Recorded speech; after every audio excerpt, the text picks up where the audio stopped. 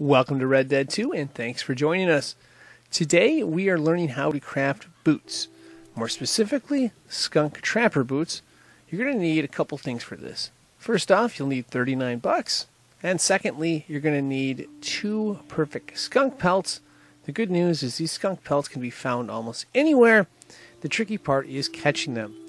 My favorite method of tracking these things is to use the tracking method, which involves pushing in the L3 and R3 buttons at the same time, which will allow us to see different objects as well as track different trails.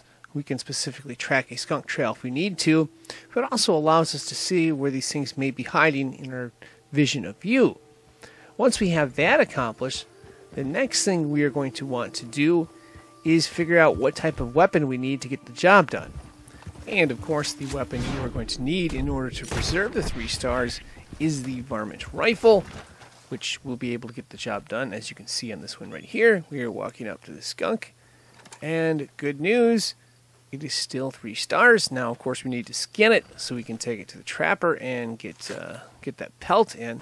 And of course, on the left, we have a slow motion replay of the shot you need to make to preserve those three stars. Now, as always, you may want to consider saving your game just in case something happens, and that way you have the pelt in your possession and you can reload the game in case you get eaten by a cougar or get hunted down by some bounty hunters. Let's go ahead and take a look at a second example right here from the desert, again around the tumbleweed area. Now, of course, even if we're not tracking, it's always good to scan the area and look for potential uh, targets. Uh, here we got the varmint rifle equipped, and we see the striped skunk, which is probably better in the 4K. But uh, anyway, we're activating Deadeye, and we shoot. And then, of course, we will keep our fingers crossed that it is a perfect pelt. Again, we have a slow motion replay on the left as we go up to see if it is a perfect pelt, which it is, so you know what type of shot you need to take in order to get preserve that uh, three star quality skunk. There we have it uh, wrapped up right there. Now what we need to do is go ahead and head to one of the five trapper locations that there are in this game and of course sell your two skunk pelts to the trapper.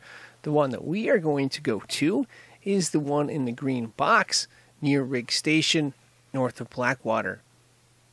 All right, now that we are here at the trapper location, and we have sold our pelts, all we need to do is go ahead and buy from them. And in order to do that, we are going to hold down the L2 button, which should give us the option of uh, showing the triangle button to buy. We're going to hold down the triangle button there. Next, we are going to go to clothing, which is the second item down, and select that. Uh, afterwards, we are going to go hit R1 until we get to boots. It's the fourth item there. And we're going to go down to the second uh, boot item right there, which is the Skunk Trapper Boots.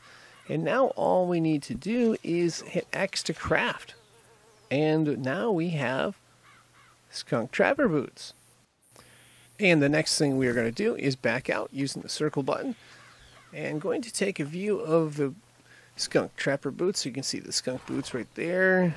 There we go. We can see them right there. And of course, that is going to wrap this up. I am signing out. Thank you for watching and uh, good luck.